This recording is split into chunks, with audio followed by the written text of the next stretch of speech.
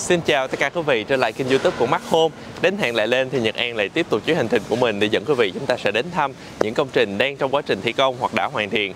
Ngày hôm nay thì An đã có mặt tại Tân Uyên, Bình Dương và An sẽ dẫn quý vị chúng ta ghé lại thăm công trình của nhà anh Uyên chị Hà. Đây là một khách hàng của Mắt Home và công trình này là công trình rất là hoành tráng nha quý vị. Một trong những công trình hoành tráng nhất của Mắt Home từ đó đến nay luôn.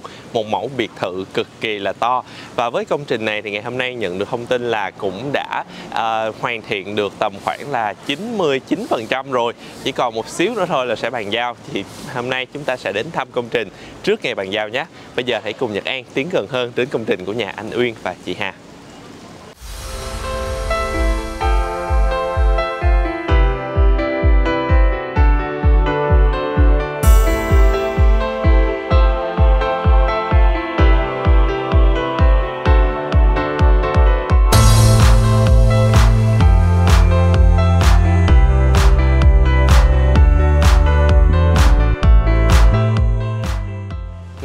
Thì quả thật là như An nói là công trình đã hoàn thiện 99% rồi cho nên quý vị có thể thấy đầu tiên ha cái sự khác biệt so với những lần trước khi An dẫn quý vị đến đó chính là cái phần sân nè à, phần sân vườn đã được ốp lát xong rồi nha quý vị. Cũng như là một số vị trí ví dụ ở phía bên này đi à, thì chúng tôi cũng đã dựng xong một cái khu vực là chòi nghỉ à, cho gia đình nè sau này có thể là ngồi đây thư giãn ha.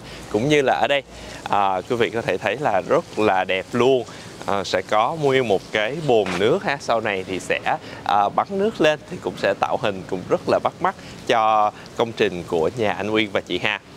Còn bàn về công trình chính chúng ta ngày hôm nay đi. Wow, phải nói là ngày hôm nay à, đến thì quý vị có thể thấy là phía bên ngoài công trình là gần như là đã hoàn thiện rồi ha. Từ việc sơn phết, ốp lát, cửa rồi à, tất tần tật mọi thứ là cũng đã hoàn thiện xong hết rồi. À, đặc biệt là ở một số vị trí ví dụ ở đây nè thì chúng tôi cũng đã đặt thêm một số những cái loại cây cũng rất là đẹp luôn ha. Nó sẽ mang đến mảng xanh cho công trình của nhà anh Uyên và chị Hà.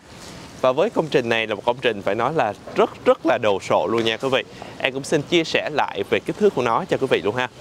Công trình sẽ có chiều dài là 18,8m chiều rộng là 17,5m và tổng diện tích thiết kế của cả 4 tầng trong công trình này là tầm khoảng là 800m2 nha quý vị về chiều cao thì từ cốt số 0 đến đỉnh của mái sẽ là 19,4m Sàn tầng 1 lên đến sàn tầng lửng là 4,5m Sàn tầng lửng đến sàn tầng 2 sẽ là 3,6m Sàn tầng 2 lên đến sàn tầng áp mái sẽ là 3,6m nha quý vị.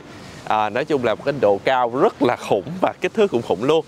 Còn về thiết kế công trình này thì đây cũng là một những công trình mà em rất là ấn tượng bởi vì sao? Bởi thiết kế rất là khác biệt so với gần như là tất cả những cái công trình khác không tính là biệt thự nhé mà anh tính tất cả công trình của Mắt Home luôn nó đều khác biệt. Bởi vì sao?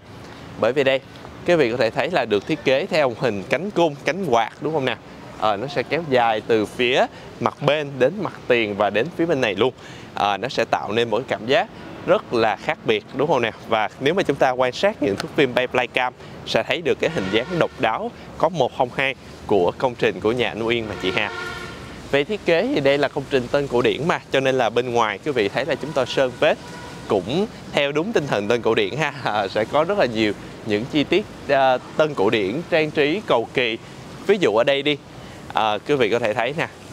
À, đây đây một cái họa tiết hoa văn rất rất là cầu kỳ tỉ mỉ đúng không nào? Rồi phần sảnh chính cũng vậy.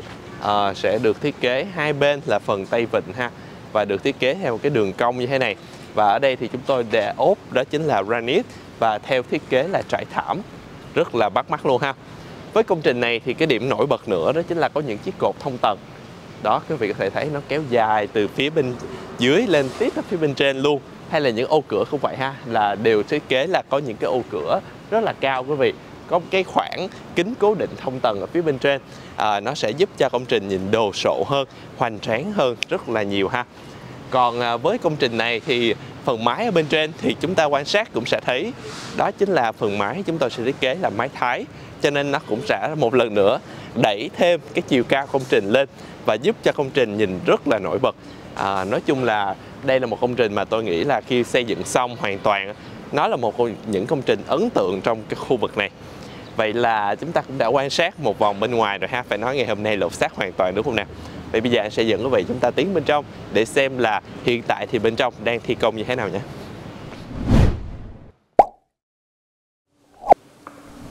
Tiến vào bên trong công trình của nhà anh Uyên và chị Hà thì như quý vị có thể quan sát thấy đó chính là bên trong thì về cơ bản về ngôi nhà hay quý vị thì cũng đã gần như đã hoàn thiện xong hết rồi. À, từ cái phần cửa nè rồi phần đèn hệ thống đèn ở phía bên trên rồi những cái đèn chùm ở ngay những vị trí trung tâm. Phải nói là rất là hoành tráng rồi nha quý vị và cũng đã được lắp đặt xong hết rồi. À, An rất là ấn tượng với những cái chi tiết như cái đèn chùm pha lê như thế này. Chắc chắn là sau này khi mà vào sử dụng á thì vào ban đêm hay nó sẽ tỏa ánh sáng rất là lung linh cực kỳ là đẹp cho công trình luôn còn hiện tại ở phía bên dưới thì quý vị thấy là chúng tôi đặt một số những cái món đồ nội thất bởi vì đang trong quá trình mà đang hoàn thiện nội thất mà đúng không nào? cho nên nó còn hơi bừa bộn một chút xíu ha. Thì sắp tới khi mà à, chúng tôi đã thực hiện xong về nội thất đặt để bên trên rồi bàn giao thì chắc chắn là An sẽ dẫn quý vị trở lại thăm. Một cái điều An ấn tượng công trình này đó chính là ngày hôm nay thì chúng ta đã thấy được cái chi tiết. Đó chính là cái phần cầu thang này quý vị. Anh nhớ là ngày hôm trước khi mang đến thì lúc đó cầu thang chỉ mới làm thôi chứ chưa có đặt về cái phần lan can tay vịn như thế này. Ngày hôm nay quý vị có thể thấy là cái lan can tây vịnh ha đã được đặt vào tạo lên cái sự sang trọng rất là hoành tráng của công trình luôn. Hai bên thì sẽ có cái nguyên tắc là đối xứng luôn nè nó đối xứng trăm phần trăm. Đúng theo là cái nguyên tắc của phong cách tân cổ điển đó chính là 50 50 tỷ lệ vàng. À, và nó sẽ tạo những cái đường uốn xoăn này à, thì cái cầu thang thực sự là bây giờ nó không chỉ đơn thuần là một cái nơi để di chuyển nữa mà như là một cái trang trí rất là bắt mắt cho công trình nhà anh Uyên và chị Hà. Còn bây giờ thì ta di chuyển dần ra phía sau đi à, ở những cái khu vực phía sau đó quý vị thì chúng tôi sẽ chia ra. Đầu tiên ở phía bên này sẽ là một phòng ngủ có diện tích là 22 mét vuông. Phía ở đây sẽ có là khu vực nhà vệ sinh. À, chung nè à, thì chúng tôi cũng đã đặt để những cái món đồ bên trong rồi. Có lavabo toilet và khu vực tắm đứng có vách ngăn. Vị trí này thì sẽ là không gian sau này sẽ là đặt phòng khách nha quý vị. Có diện tích đó chính là 35 mét vuông. À, đây là cái diện tích cũng khá là rộng rãi rồi ha. Sẽ có ô cửa sổ vị trí này thật sự là nói đây là phòng khách thôi chứ cái khu, khu vực phía trước là cái phật sẵn cũng rất là rộng rãi cho nên là chúng ta cũng có thể xem mà nó liên thông với nhau luôn ha. Và quý vị có thể thấy cái sự đầu tư rất lớn của gia chủ nè tới những cái chiếc cột ở bên trong nhà như thế này. Mà quý vị quan sát đi à, nó vẫn sẽ có rất là nhiều những chi tiết trang trí đúng không nè? Cho nên là thể hiện là gia chủ rất là chăm chút cho công trình này. Còn bây giờ thì ta di chuyển một chút xíu qua phía bên này đi. À, thì ở phía bên trong này thì chúng tôi sẽ có đó chính là khu vực của phòng bếp ăn nha quý vị phòng bếp ăn thì sẽ có diện tích đó chính là à, 34 mét vuông. À, chúng tôi sẽ bố trí ở đây.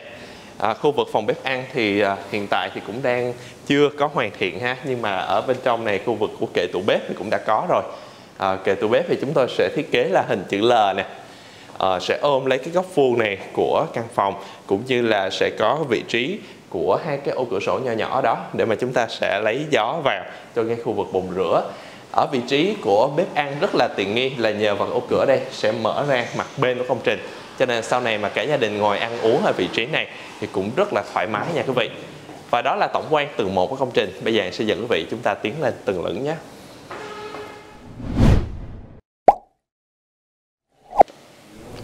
Tiến lên không gian tầng lửng của công trình thì đầu tiên ha, cái vị trí mà An rất là thích quý vị đó chính là vị trí ngay ở đây à, quý vị có thể thấy là chúng tôi đã làm một cái phần lan can ở đây rồi ha với ờ, được thiết kế nè những cái hoa văn họa tiết rất là đẹp. Và cái phần lan can này rất là gần với cái vị trí đèn chùm ở đây đúng không nè? À, chúng ta sẽ có thể quan sát được kỹ hơn cái phần trần của công trình. Phải nói là quý vị có thể thấy từng những cái chi tiết hoa văn họa tiết cũng như là những cái hình sẽ được vẽ à, ở trên cái phần trần này phải nói là rất là hoành tráng và thể hiện được cái sự kỳ công của những cái nghệ nhân đúng không nào còn bây giờ thì chúng ta sẽ di chuyển qua phía bên này đi ở phía bên này thì chúng tôi sẽ bố trí là có một không gian phòng ngủ nha quý vị. Phòng ngủ này sẽ có diện tích đó chính là 20 uh, 2 mét vuông. Uh, sẽ bố trí bên trong. Hiện tại thì còn đang đầy trống thôi chưa có đặt để nội thất. Uh, và chúng tôi cũng đã có phần trần cũng được thiết kế đẹp nè đặt một cái quạt đèn trần. Ở vị trí này thì sẽ là vị trí của nhà vệ sinh. Uh, đây là sẽ không gian nhà vệ sinh khép kính dành riêng cho chủ nhân của căn phòng ngủ này nhé. Bây giờ thì ta sẽ di chuyển tiếp qua phía bên này đi thì à, tầng lửng thì chúng tôi sẽ bố trí hai phòng ngủ này nha quý vị. Nhưng mà trước khi đến phòng ngủ này đây à, sẽ giới thiệu lại đó chính là công trình của nhà anh Uyên chị Hà sẽ có một khu vực đó chính là thang máy. À, đó quý vị có thể thấy là thang máy đang trong quá trình thi công nó hơi bừa bộn ha. Nhưng mà sau này khi mà xong rồi thì thang máy sẽ được à, trang hoàng cũng rất là đẹp. Và với một công trình mà 4 tầng như thế này mà có thang máy nữa là quá lý tưởng đúng không nào? Bây giờ ta sẽ di chuyển qua đây đi đây sẽ là một không gian phòng ngủ có diện tích là 22 mét vuông. ở phía bên kia thì chúng tôi sẽ bố trí đó chính là khu vực phòng thay đồ có diện tích là 20 mét vuông nữa ha. Kèm theo đó là khu vực nhà vệ sinh và nhà tắm à, dành riêng cho chủ nhân căn phòng ngủ này. Nói chung là đây là một không gian em thấy là cũng rất là rộng rãi và đặc biệt là có cái lối cửa này nè quý vị. Mở ra cái phần ban công ở cạnh bên cho nên là uh, sẽ giúp cho chủ nhân căn phòng ngủ này cảm giác rất là thoải mái. Đây là một ưu điểm của phòng ngủ này ha và đó là tổng quan của từng lĩnh. Bây giờ ta lại tiếp tục tiến lên tầng trên nữa nhé.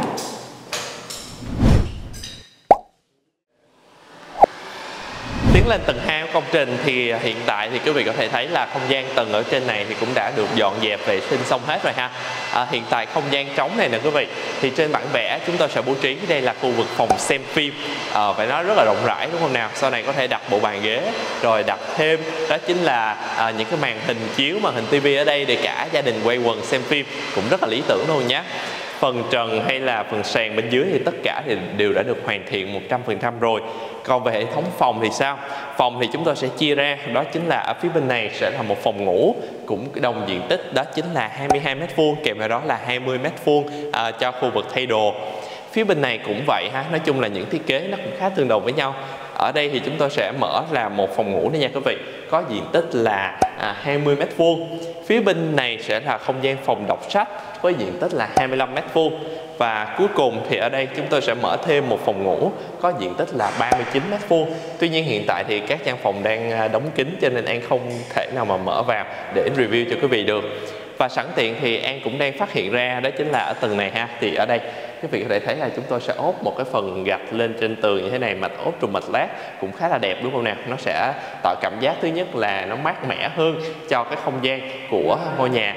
À, và nhìn nó cũng sẽ sạch sẽ nha quý vị. Tương tự với những vị trí này cũng vậy à, sẽ có những cái đường à, chúng tôi sẽ ốp gạch nè. Quý vị có thể thấy là nó cong theo à, nó cong theo cái cái cái à, hình dạng của ngôi nhà luôn đúng không nào? Rồi tương tự ở vị trí này cũng vậy ha. À, sẽ có những cái vị trí chúng tôi sẽ mạ vàng. Nói chung là rất là kỳ công. À, thể hiện đó chính là cái sự tỉ mỉ của gia chủ đúng không nào? Và bây giờ chúng ta sẽ tiến lên tầng cao nhất công trình đó chính là tầng áp mái nhé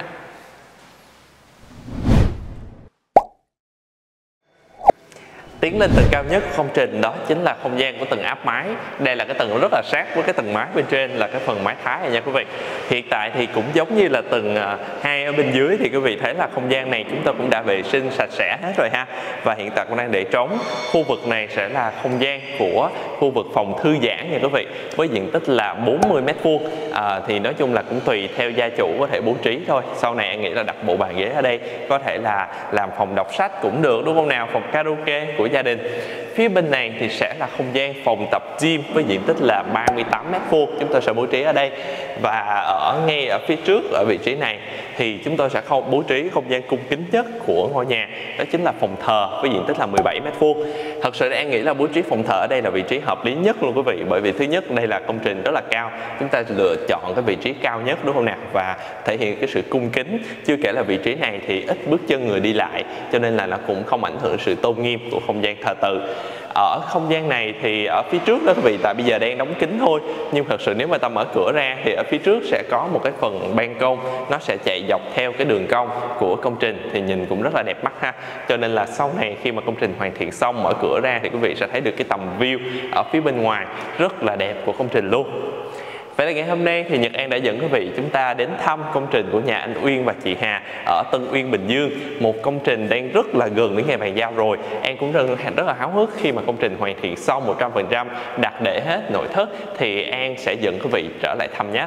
Nếu quý vị có nhu cầu thiết kế và thi công trọn gói đừng ngần ngại liên hệ ngay với Mắt Home số hotline 096 445 8888 08281 33333 sẽ có nhân viên tư vấn cho quý vị. Đừng quên nhấn like subscribe chuông thông báo để không bỏ lỡ video mới nhất của chúng tôi còn bây giờ Nhật An xin chào tạm biệt. Hẹn gặp lại quý vị trong những video tiếp theo.